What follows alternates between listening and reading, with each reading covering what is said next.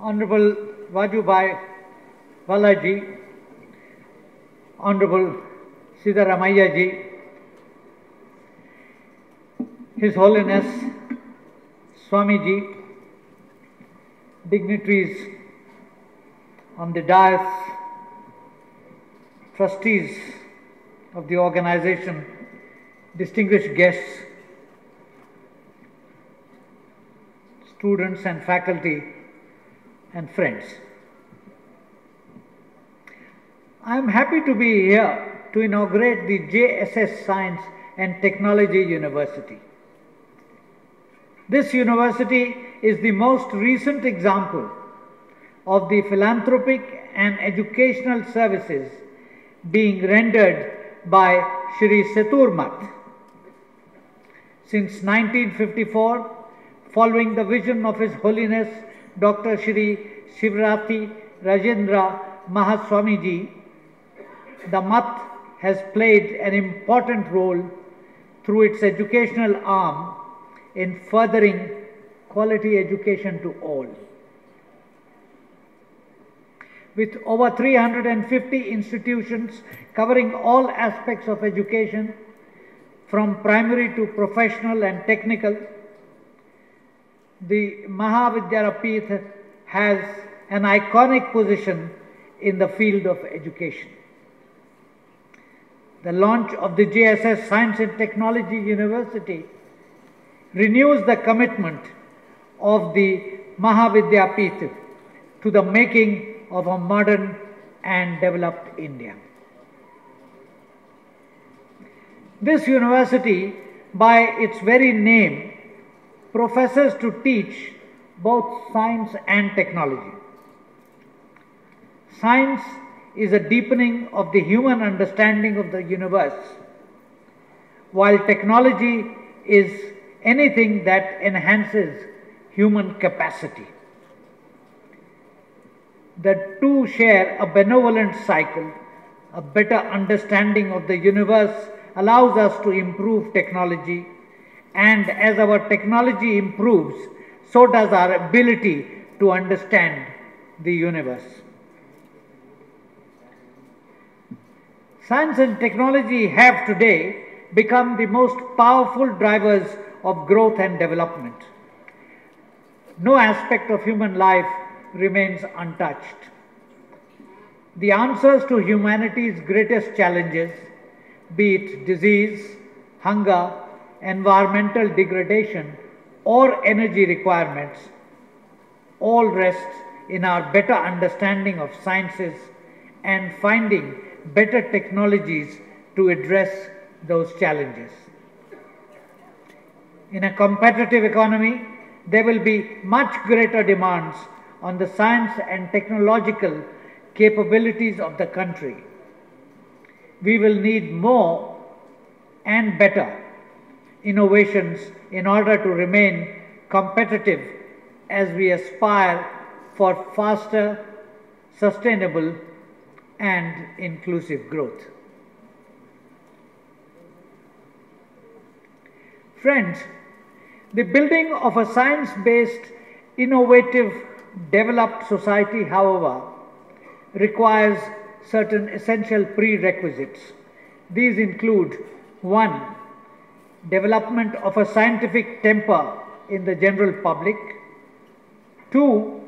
A focus on the study of the basic sciences for meeting our domestic requirements, and 3. A conducive environment where inquiry and evidence form the basis of rational choices. Allow me to dilate on each of these. Scientific temper was perhaps best defined by Jawaharlal Nehru in his book, The Discovery of India, and I quote The scientific approach, the adventurous and yet critical temper of science, the search for truth and new knowledge, the refusal to accept anything without testing and trial, the capacity to change previous conclusions in the face of new evidence, the reliance on observed facts and not on preconceived theory, the hard discipline of the mind, all this is necessary not merely for the application of science, but for life itself and for the solution of its many problems. End of quote.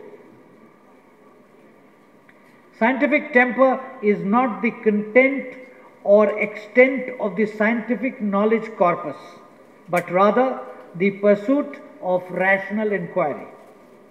It is a worldview characterized by traits like healthy skepticism, universalism, freedom from prejudice, objectivity, and rationality.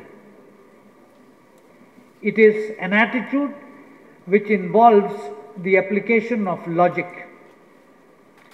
Discussion, argument, and analysis are vital parts of this approach. Elements of fairness, equality, and democracy are built into it.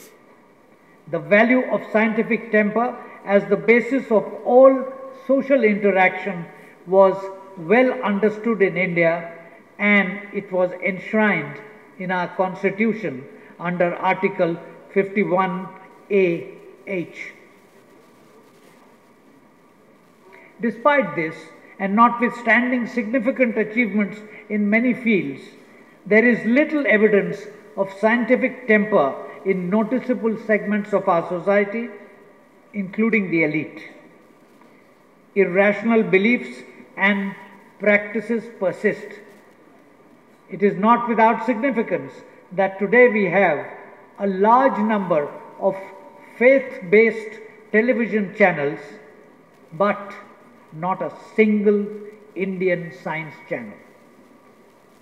It seems paradoxical that after much efforts to inculcate a rational outlook and scientific thinking among citizens for many years, we find that even scientists who practice science do not necessarily possess a scientific temper. Secondly, we need a strong emphasis on teaching and research in basic sciences. When it comes to science, no national scientific enterprise can be sustainable in the long term if it does not contain generous room for curiosity driven research. While technological outcomes and social benefits of basic science are always long term and rarely predictable, such science creates and consolidates overall competence and intellectual diversity. A regressive trend has been observed in the past few years in universities as science seems to be losing out to other disciplines, particularly the professional courses. Universities are becoming mere teaching centers with the research functions being neglected. We are proud that India is recognized as an information technology hub, but it is equally important for India to be a science innovation hub to achieve technological self-sufficiency and devise local solutions to our numerous problems like poverty, agricultural productivity, water conservation and climate change. Our failure to develop manufacturing capacity in critical segments of the defense industry is a case in point. Even the light combat aircraft Tejas is equipped with an engine manufactured by the General Electric Company in the United States. We cannot hope to be a great power without a qualitatively superior science and technology prowess. Basic science education needs to be given due respect to foster a scientific temper and culture. We need an atmosphere where bright and independent minds can create great ideas in garages as well as in laboratories. And thirdly, an environment conducive to dissent and critical thinking, challenging established knowledge and dogmas, is required to pursue bigger questions in science and encourage innovation. Institutions must develop the ability and courage to critically evaluate traditional knowledge, inculcate concepts of scientific and mathematical inquiry in their research and teaching, and promote critical thinking and reasoning amongst their students. This is what the governor of Reserve Bank of India in a talk last year at the IIT Delhi alluded to when he suggested that, and I quote, to keep the idea factory open, it is essential to foster competition in the market for ideas by encouraging challenge to all authority and tradition, even while acknowledging that the only way of dismissing any view is through empirical tests. End of quote. Ladies and gentlemen, the search for truth is a tireless striving towards perfection. The authority of teacher and text is always provisional. Gandhiji said that persistent questioning and healthy inquisitiveness are the first requisite for acquiring learning of any kind. Criticism is the basis of all advancement in science. Every iota of knowledge, traditional or new, must be put through a critical testing process in order to assess its validity.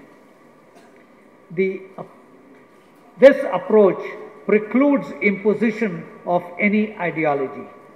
There can be no cherry picking of scientific concepts in the interest of particular social, cultural, political, or religious belief systems.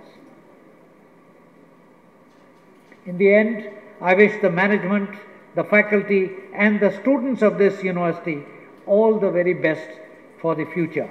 I am confident that this university will become a true wisdom workshop, nurturing both curiosity and creativity amongst its students and equip them with the necessary skills to play a productive role in the progress and development of our nation. Jai Hind.